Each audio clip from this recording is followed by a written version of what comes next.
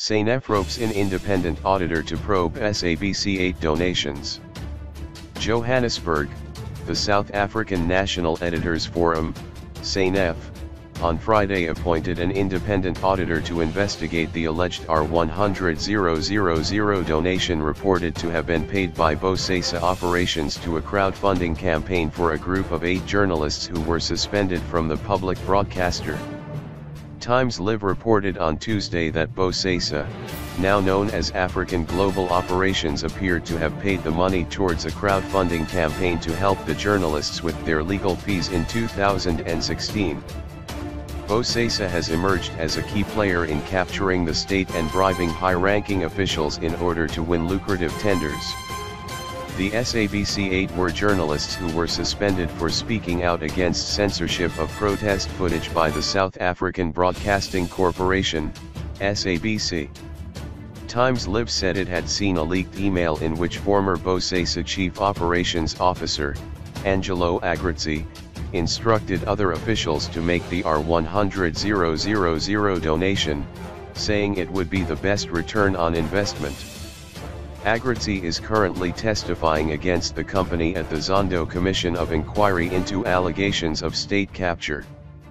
He said Bosasa had paid bribes to some journalists to not write certain stories.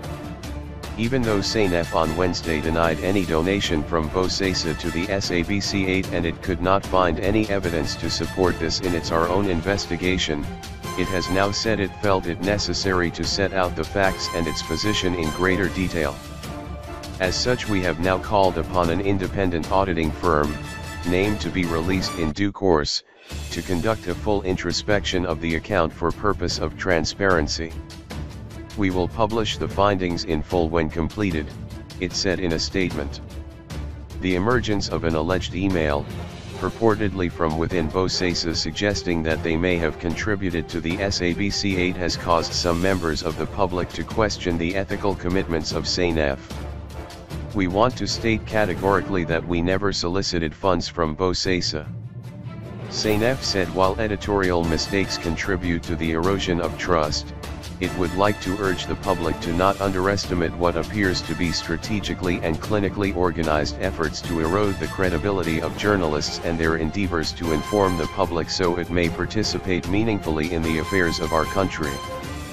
That being said we will not condone shoddy journalism and have no hesitation in calling to order our own in the media, hence every effort is being made to institute an independent commission of inquiry into credibility and ethics in the media. Members of the public will be encouraged to participate and lodge complaints, it said.